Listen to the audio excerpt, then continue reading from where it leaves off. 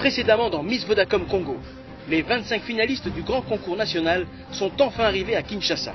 Vous avez ainsi pu découvrir leur visage, mais également leur caractère. Elles ont fait la connaissance des membres du jury d'experts. Les 100 000 dollars de gains sont devenus une réalité sous leurs yeux, mais dans Miss Vodacom, le casting est impitoyable. Il y a donc eu des joies, mais également de grandes tristesses. Seules 16 candidates ont été retenues et elles s'apprêtent ce soir à faire leur entrée dans le manoir secret.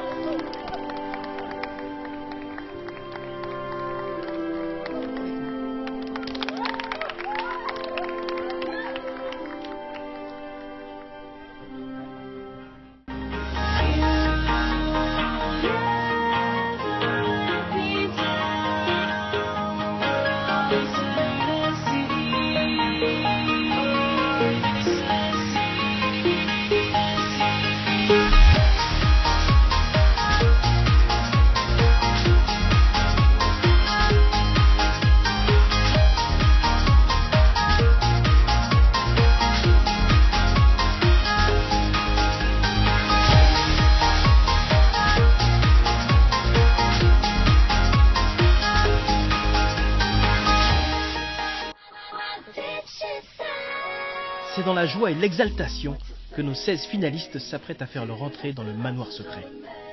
Jusqu'ici, elles n'en connaissaient que le jardin et les extérieurs, et c'est avec une certaine fébrilité qu'elles montent les marches qui les conduisent au succès. Armande, Irène, Fina, Gemina et les autres jeunes femmes vont découvrir le décor luxueux de leur toute nouvelle demeure. Petit salon, lustre de cristal et mobilier de prestige, face à ce nouveau lieu de vie, les jeunes femmes sont certes impressionnées, mais elles réalisent la chance qu'elles ont d'avoir. Mais le manoir est grand et la visite continue. Les filles vont maintenant découvrir leur chambre et par la même occasion faire le choix des lits. Là encore, les caractères s'affirment.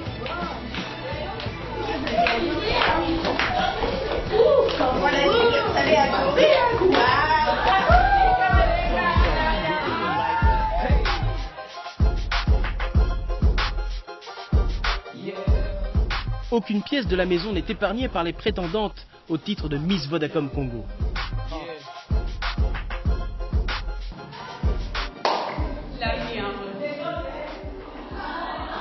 La salle de bain et son jacuzzi sont d'ailleurs très prisés par nos jeunes candidats c'est du fou.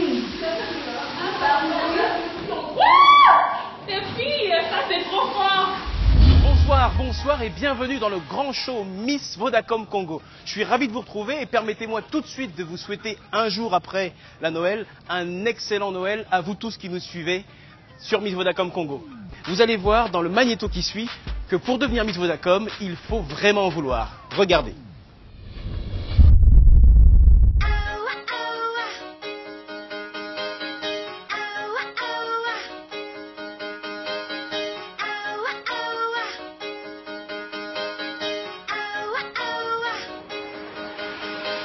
that, that.